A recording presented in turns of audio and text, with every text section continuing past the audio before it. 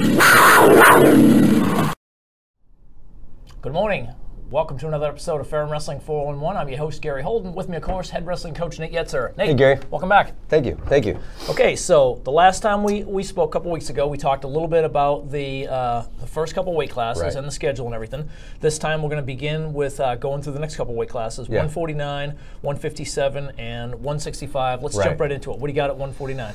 Uh, well, we uh, we have a lot of returners there, um, and we got some guys that are, that are dropping down there. But um, you know, we brought in uh, one guy, Brandon From uh, Smithfield High School in, in, in Virginia, and uh, Northern Virginia? Absolutely, yep. And, and uh, you know, Brandon comes from a great background. Smithfield's obviously got a great, you know, great tradition of wrestling, and, and uh, you know, hard worker, and, and I think he brings a lot to the table. I mean, he's a guy that needs a little bit of development, but um, I think that's what we do a really good job of here. Sure, sure, so, absolutely. yep. So, and we're just talking mainly about the newcomers. At some point in time, later, Yeah, yeah, later in the yeah. show, we'll talk a little bit more about all the returners. So, Right. Uh, all right, let's bump up to 157. Yep, we brought in a lot of a lot of talent here, and you know, we, we these three weights, uh, 49, 57, 65, we needed a lot of depth. Um, so we brought in a lot of good kids, a lot of quality kids, and uh, you know, with you know, with the foresight that I know, like some of them, are all, all of them shaped a little different. So they're, I think they're all going to kind of grow into different weight classes, which is um, which is important, obviously. But uh, 57, um, we're loaded there. You know, Justin Guy um, from Bartlett Yancey High School in, in uh, North Carolina was state runner-up last year, and um, super athlete, hard worker, loves wrestling. Um, so I think he brings a lot to the table. Um, Elijah Martin from Union Pines High School in North Carolina um, was a third place finisher last year at the state tournament, North Carolina. Um, controversial call in the semifinals, cost him a trip to the finals, which I think he had a really good shot of winning it. And, and uh, just um, hard worker, great kid, great background. Um, I think he, he'll bring a lot to the table too. And, and uh, I think both those guys, Justin and Elijah, are ready to step in and contribute right away. I notice you're dipping down into North Carolina. North Yeah, Carolina absolutely, yep. seems like a little bit more. Yeah, yeah. I mean, I think um, I mean it makes sense. It's close enough, and uh, I think there's a lot of talent down there, and um, a lot of high schools that wrestling. You know, I think there's like over 400 high schools that wrestle down there, so it's a, it's a big wrestling state. Um, Gally Kissel um, from you know out in the beach area in Virginia, and, and uh, he's a round away from placing at Prep Nationals last year, and, and uh, a big strong kid who I think is going to get bigger and bigger and loves lifting, and um, he's a power lifter too as well. So um, really excited about him. Um, I think uh, you know he's very talented, and, and uh, you know just going to be going to be a good. It was a good get for us. So I'm excited about him. Power lifters are probably good for wrestling. Yeah, right? yeah, You know, explosive and, Yep. and uh, you know good hips on him, and, and he'll be he'll be uh, he'll be hard to, to match up against. so. You'll, you'll probably have trouble keeping him out of the weight room. Yeah, yeah, exactly. Yep. Um, but uh, and then 65, we brought in a slew of kids too, some really good kids. Uh, Trey Passmore from Herndon High School up in Northern Virginia was third place finisher last year, and um, we got on him kind of late. Um, you know, I actually, we actually, my assistant saw him out the, the Virginia State tournament, lost in overtime to a really good kid, um, and kind of unheard of a little bit. Trey was, and. Uh, we got on him a little late and, and uh, been very, very impressed with him. Super talented, hard worker, very respectful, coachable. Um, I'm really, really high on Trey.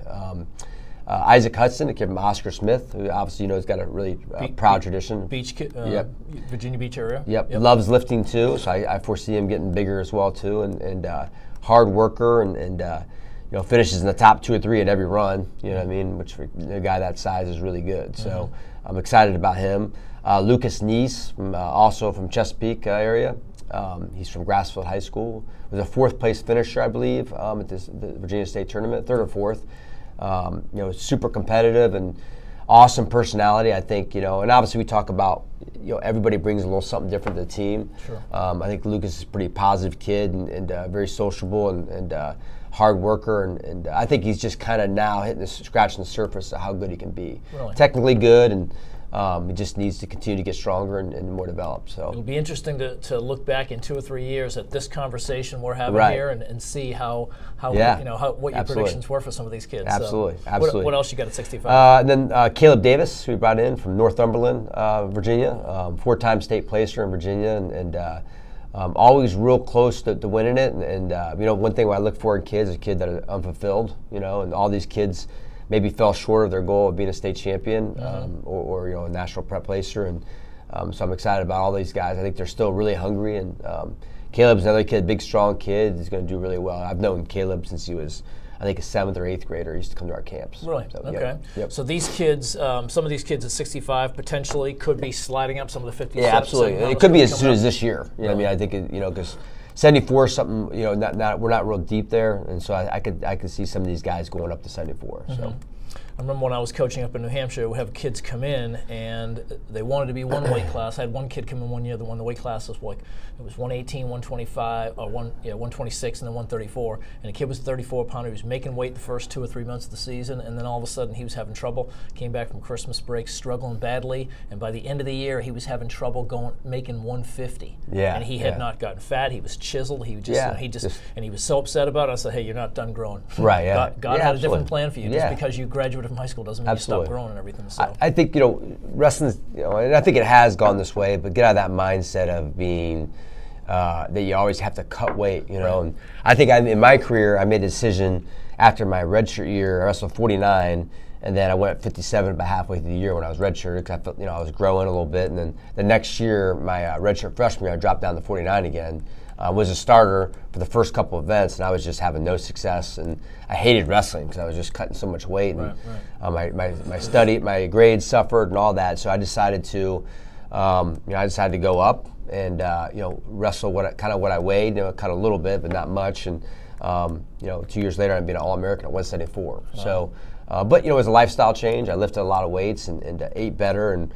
Um, did it the right way, you know, and it was hard, but you know, it, I think uh, for me, it, it made me love the sport again, and, and uh, so I think, you know, some some kids, you know, it drives people out of the sport if they always if they're always worried about cutting weight instead of getting better in the room every day, you know. And, uh, but there's a fine line. You got to be you got to be lean and, and uh, strong for the weight, you know, to, to be competitive. Right. You know, so it's uh, it was more of a lifestyle change, you know, putting the right stuff in your body, and it's something I harp on every day in practice. You know, you got to do do the right things, and everything else kind of falls falls into place. Logan Meister did something like that, didn't he? Right. Yep. Moved up two weight classes. 41 to 57 and became Yep. an All-American. Yep, and, it, and, and he really, I mean, he got better as he went up because I think he was more focused on getting better at wrestling and, and uh, you know, very obviously very smart guy, and um, you know, I think he focused on that part of it and, and uh, not not so much the cutting weight.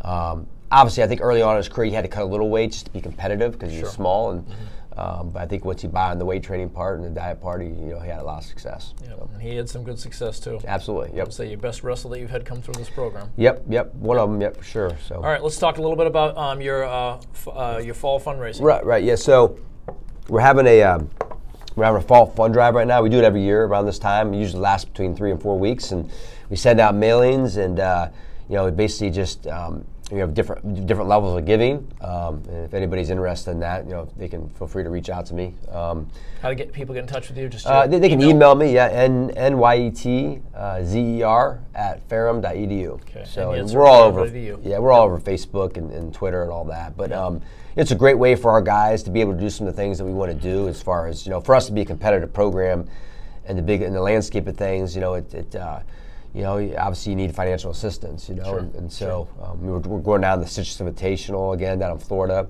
going out to Chicago for the Pete Wilson Invitational, and two big tournaments. Absolutely, and, and but, you know, but there's a cost to that. You know, they're expensive, obviously, and um, you know, this is uh, just a way for us to be able to continue to do those things and give our guys a great experience. Nice. So, yep. Talk a little bit about the uh, black and gold match. I see you've got that Yeah. uh, coming up here on November 1st. Which Yeah. that, that the inter squad scrimmage? Yep, that's our inter squad match. You know, this year we usually uh, usually like on Thursday night we'd have like kind of the preliminary matches and matched up the top two guys. This year we're just going uh, we're just going to have one big one big event and, and uh, it's going to be everybody wrestling. Um, everybody's going to get at least one or two matches.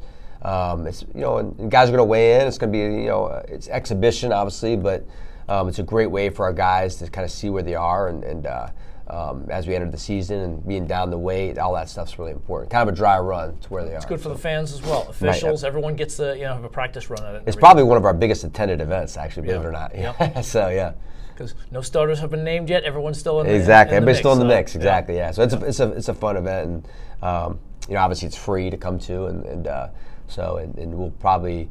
I think last year we streamed it. I'm not sure we're going to do that again. We'll see, I guess. But um, you know, more information that'll be coming out soon. Sure. So sure. yeah. Great. Great. What else we got? No, that's about it. You know, we have a homecoming coming up here in, uh, I guess, less than a month, and uh, we're gonna have our, our homecoming tailgate again down at Bassett Field, and um, you know, we're gonna have an open practice. People can come watch and, and uh, you know, and, and see where we're at, and you know make the judgment on themselves, I guess, whether how, how good we're going to be this year. So that's Saturday, October 12th. You'll, Yep. be, you'll be in official practices yep. by then. October so- test, the start official start date. Yep. Yep, so, yep. So- we're toying with the idea of maybe having something outside. You know, put some mats outside, and you know, so fans can you get more fans. Obviously, our restroom is hard to So fit a bunch fans of can jump in and wrestle. Is that what you're Yeah, saying? yeah, sure. Yeah, you, they got a USA wrestling card, right?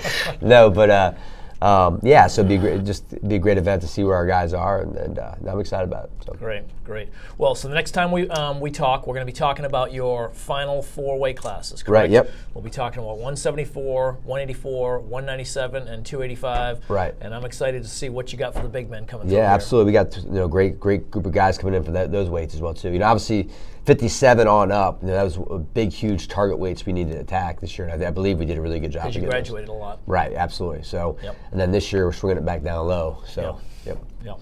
All right. Well, Coach, thanks again for being with Yeah, us. thanks. Gary. Folks, that's the that's it today for Ferrum Wrestling 411. I'm your host, Gary Holden. For Nate Yetzer, thanks for being with us, and have a great day.